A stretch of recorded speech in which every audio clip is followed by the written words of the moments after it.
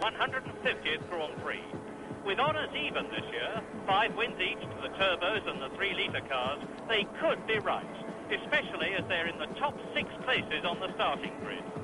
After an appalling season of unreliability and crashes, the Renault team upped the boost, fitted the super sticky qualifying tyres, and ended up with René Arnoux and Alain Prost in pole and second places yet again.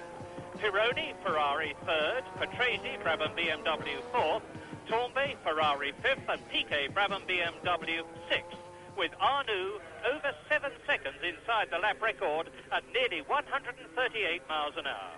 Then the three-litre Alfa Romeos of De Cesaris and Giacomelli, seventh and eighth, followed by Lauda, Rosberg, Daly and Watson, with British Grand Prix hero Derek Warwick a magnificent 14th in the Toleman. Henton 23rd, and Geoff Lees deputising for the injured Nigel Mansell 24th.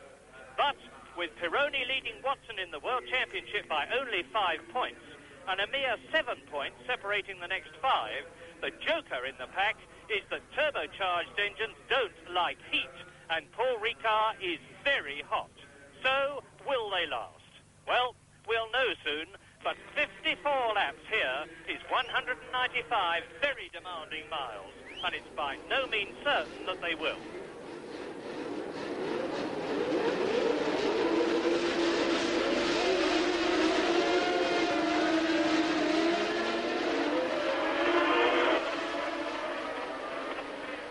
And Jarier's car left on the line, but as you can see, it is motoring under its own power, and there are going into the Verrerie and now on towards the chicane and Licol and Saint-Baume and it is the two Renaults followed by Didier Pironi, then Riccardo Patrese, then Nelson Piquet in the second Brabham BMW that you're looking at now. Behind him is Patrick Tambay and now they start this long drag shortly down the longest straight in Grand Prix racing which is over 1.1 miles long. Yes, and now we're going to have a uh, our first chance to see the relative power of the different uh, turbocharged engines. I expect the Brabhams to be particularly fast in the early stages. They were very fast in the warm-up this morning. They say that they're going to make a pit stop. I do hope they do. There's Arnoux leading, Prost is in second place, Pironi and it's either Piquet or Patrese. I can't identify here, but definitely René Arnoux, who has had quite the worst motor racing season in his career this year, and last year wasn't much better. And this race, as I said earlier, to him and the entire Renault team is absolutely critical. And it looks like Patrese up into third position, almost one lap completed, 53 to go at the end. They're coming now into Le Pen, and then Latour, and that is the left-hander which leads to Paul, the right-hander, over the bridge, and sure enough, the two turbo Renaults are in the lead, and at the end of lap one, it is René Arnoux leading. Prost is second, Patrese is third, Pironi is fourth, Piquet is fifth, Tambay is sixth, Daly is seventh, Giacomelli eighth, and Niki Lauda in ninth position. And Derek Warwick is a Toleman who did so well in practice yesterday, coming out with only quarter of an hour to go, and qualifying in 14th position is in about that place at the moment. So, Alain Prost there that you are looking at now with Arnoux in front of him. Then there is Riccardo Patrese, the man who won at uh, Monaco. But Patrese, of course, in this race is in the turbocharged Brabham BMW four-cylinder engine, now into the straight for the second time. Expect Patrese to go into second place, and the big question now will be whether he's got his turbocharger turned right up and is in fact going to make a pit stop for fuel. The Brabhams have the choice of running with their turbochargers turned well down to conserve fuel and run the whole distance without a stop, or turning their charge, turbochargers up to a lot of boost and uh, making a pit stop. And it's uh, a very interesting calculation and certainly brings a new dimension to Grand Prix racing, the idea of make, actually making a planned stop. Well, now, Piquet is in fourth position, and the Brabhams, of course, have got to get about a 30, 40 second lead halfway through the race, which will be uh, lap uh, 27 if they are to be able to beat the turbocharged Renaults and Ferraris behind them, assuming they're all still going. Now we're coming to the end of lap two, and Riccardo Patrese is gaining on the leader, and through into third position goes Nelson Piquet. Fourth is Prost, fifth is Pironi, sixth is Patrick Tambay. Seventh is Daly. Eighth is Giacomelli. Ninth is Lauda. Tenth is De Cesaris. And eleventh is John Watson.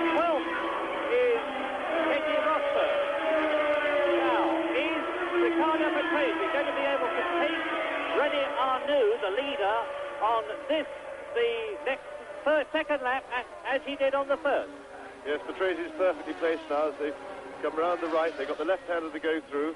He's dropped back a little bit there, but no, he's well placed to the toe now. He's going to walk past and into the lead. Another question mark hanging over the Brabhams is that they have had a lot of trouble with their engines in practice here. They've, they, they had uh, used three or four engines on Friday, had more engine trouble yesterday, and there goes Riccardo Patrese sweeping past the Renault with the draft. The Renault tucks back in again. Arnoux having another nibble back, but uh, is there, and he's going to pull away now. Yes, Patrese, of course, we assume, because we've only been told this unofficially, is running on a half load of fuel and uh, is running on very soft tires so that he can come in halfway through, refuel and put on another set of very soft tires. But as I was saying, he needs to build up a lead. Meantime, Teo Fabi in one of the two turbocharged Tolemans is out of the French Grand Prix as the leader on lap three comes through and then Salazar off. Well now, Patrese leading Arnoux in second place, and with Piquet right on Arnoux's tail, is 3.4 seconds ahead, and Piquet is now, as they come up to the Verrerie, right with René Arnoux in second place. Yes, it's great to keep that rate of progress up. That was a lap and a half it took him to get uh, over the three-second lead, and that's quite enough. And Piquet is now climbing all over the back of Arnoux.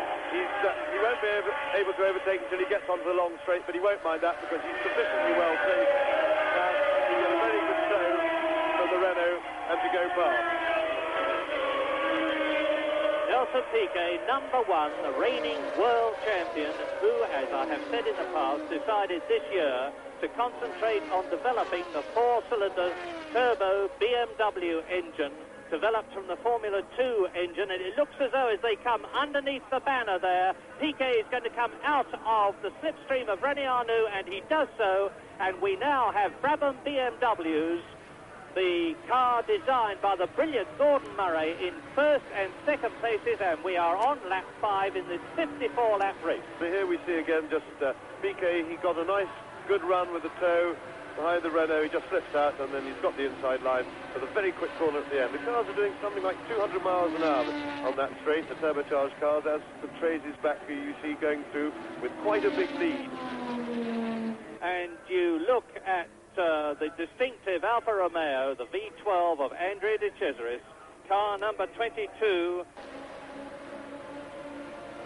the world champion, the man from Brazil, Nelson Piquet, taking the Courbe de Signes, the long right-hander, now into the Beausset, which is the corner in Grand Prix racing which has the greatest G-forces of all.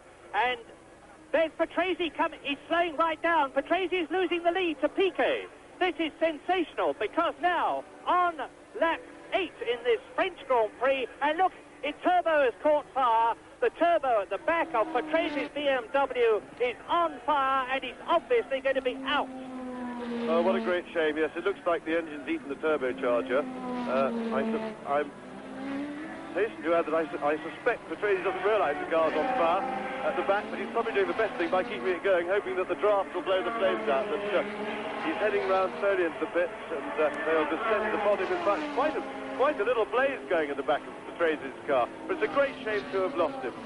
Well, let's hope he's got his belt undone so that he can leap out of the car quickly because I think it's going to go up in flames in a very violent way as Nelson Piquet and Patrese is in front of the pit now. His car is absolutely, I wish we could get a shot of it. There it is. Patrese needs to be out of that car very quickly indeed. It really is burning. Yes, he's realised on oh, fire now. It's getting pretty warm in there. he's going to get well away. Riccardo Patrese then, the brilliant Italian who won the Monaco Grand Prix. Unfortunately, the Paul Ricard officials are on it straight away. Um, an idiot marshal has just run right across the circuit in front of the cars. But I can tell you now that Piquet is leading.